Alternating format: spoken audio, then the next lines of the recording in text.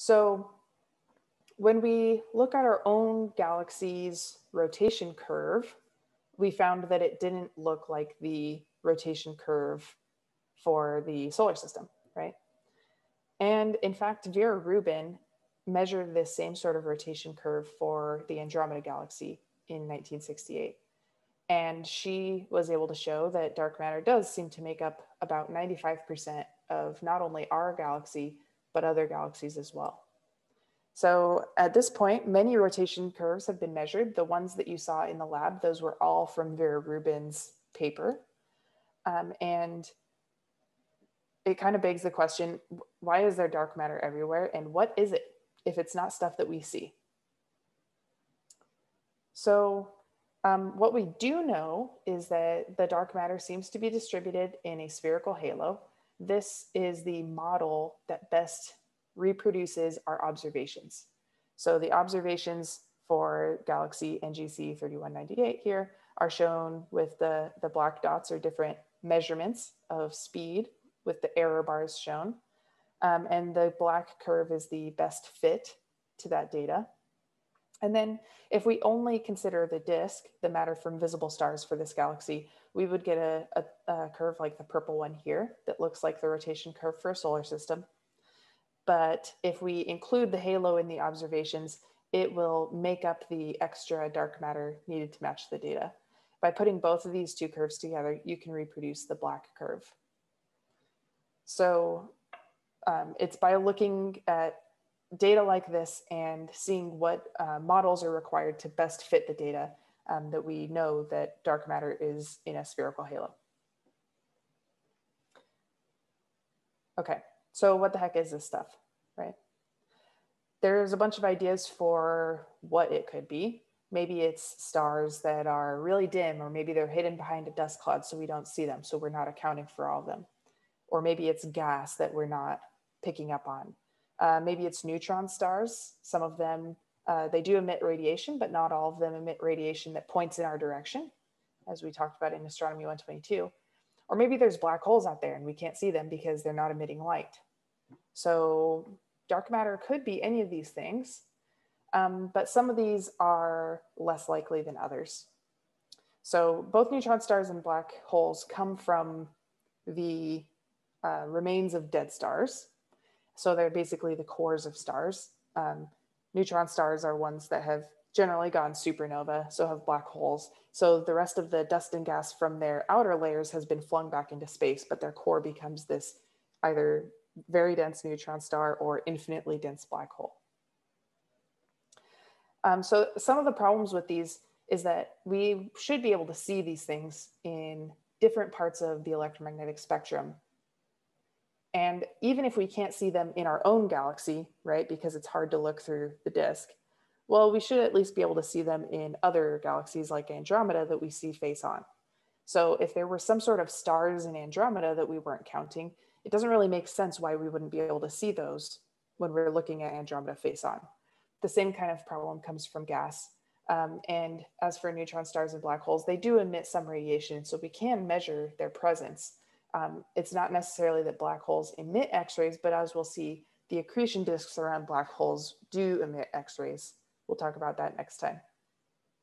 So it doesn't really stand to reason that dark matter could be anything uh, normal that we think of. Um, so maybe it's dust, right? Maybe it's the dust that's blocking our view, and maybe we're just not able to count it properly. Um, but this would also cause the light from distant galaxies to be dimmer right? So if there's some sort of dust that we're not accounting for in our own Milky Way, well, then we, we should at least know of its presence, right? Based on what we see from other galaxies. Um, there are objects called white dwarfs. These are stellar remnants and brown dwarfs. These are basically failed stars, things that are bigger than a Jupiter, but smaller than a sun. Um, and this is one of the main contenders for what dark matter could be. These do emit radiation um, brown dwarfs emit in the infrared, white dwarfs um, emit at, well, they start out in the visible and then they make their way toward the infrared over time. And this is uh, a class of objects called massive compact halo objects. So they would be massive objects made of normal stuff that we're used to, Um, and they're just hard to measure the radiation from. So our massive compact halo objects. Um, the white dwarfs have masses similar to the sun's mass. So if you imagined there was, you know, an equivalent amount of kind of white dwarfs and black and brown dwarfs out there, um, then maybe we could add up to something similar to the amount of the disk, right? Um, brown dwarfs are failed stars, like I said, and they're less massive than the sun's mass. So if we just assume that maybe there's an equivalent number of white dwarfs and brown dwarfs out there as there are regular stars, then you could see, okay, well, maybe there's, you know, 100% to 110% more mass that could be accounted for in this way. But that only takes us from two times 10 to the 11 solar masses to four times 10 to the 11 solar masses, not to six, right? So it doesn't quite add up to how much we would actually need. Um, okay, so these things would be hard to detect, but it's possible that we could detect them. Uh, one of the methods for measuring massive objects that are not emitting a lot of light on their own is that the light coming from them, from a distant star, could travel past the object and get bent by the object. So these rays of light that are, um, as we'll talk about, going through its gravitational well would actually be bent. And so we would see um, kind of a smeared out appearance from stars if this object were in the way. So this is one way that we can measure brown dwarfs. All right.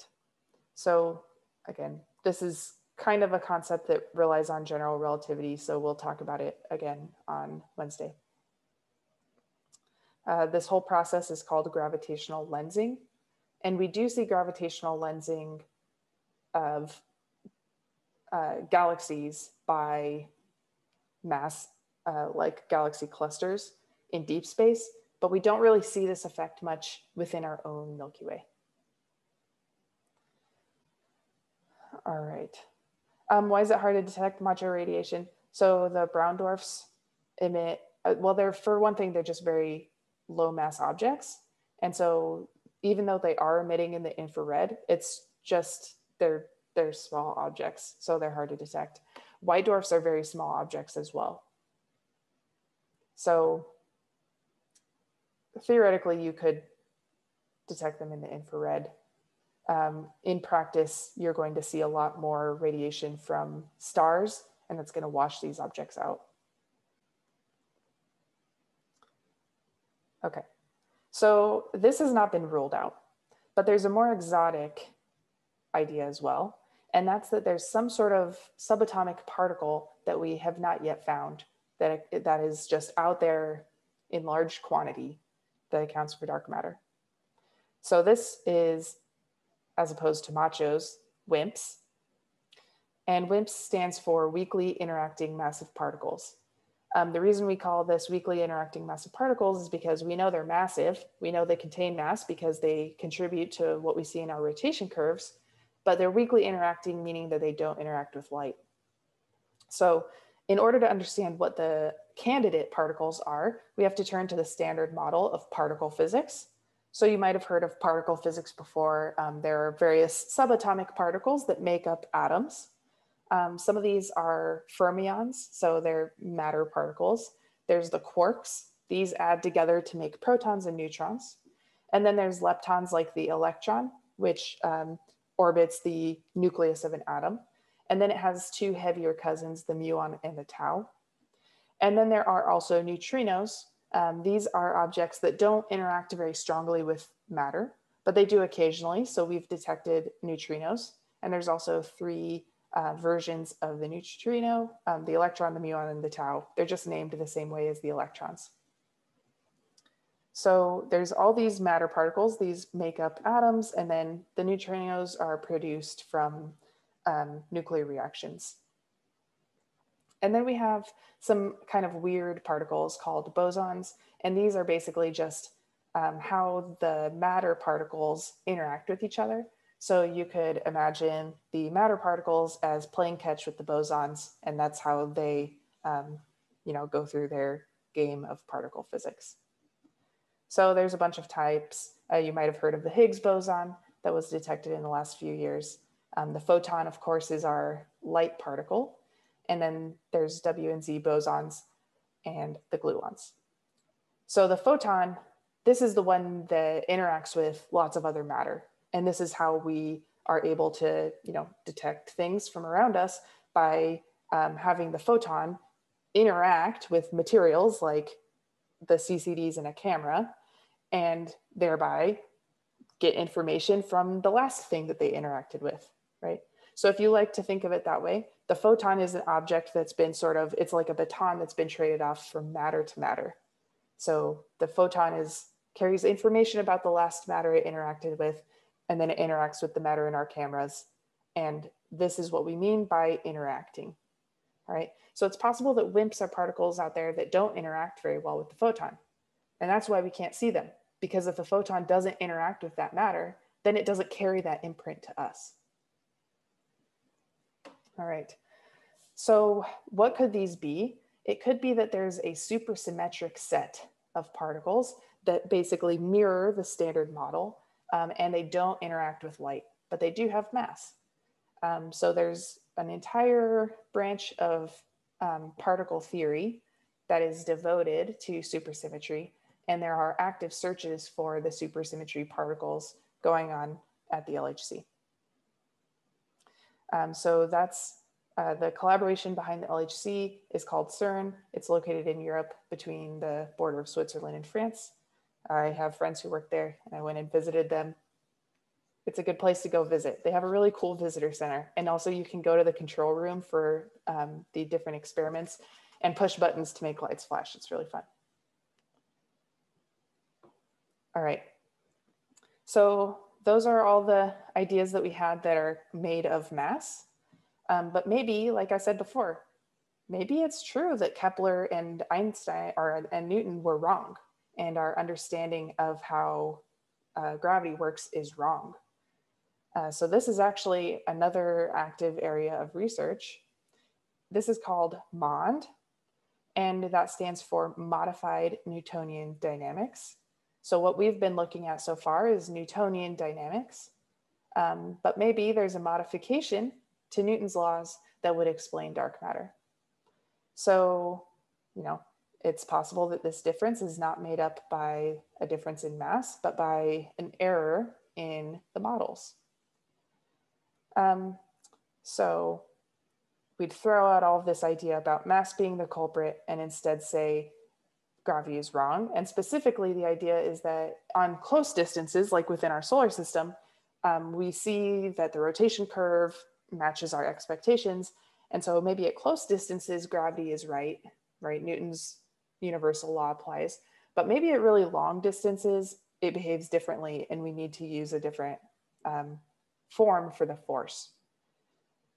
So there are lots of different theories out there, and some of them make predictions that can be tested, but so far they tend to make incorrect predictions. So, so far it doesn't seem like MOND is uh, particularly successful. One of the big uh, predictions that they fail at is what happens when galaxies merge together and collide through each other. So we can measure using gravitational lensing of different background galaxies um, the arrangement of the mass that's shaded in blue. And then um, the predictions that MOND makes uh, doesn't match what, um, what we actually observe here in the bullet cluster. But the idea of the, the WIMPs, of there being large um, massive halos of mass that doesn't interact with light, that does match our observations here. So it seems like the actual presence of mass is most likely, um, and that this modification to Newtonian dyna dynamics is just not going to cut it.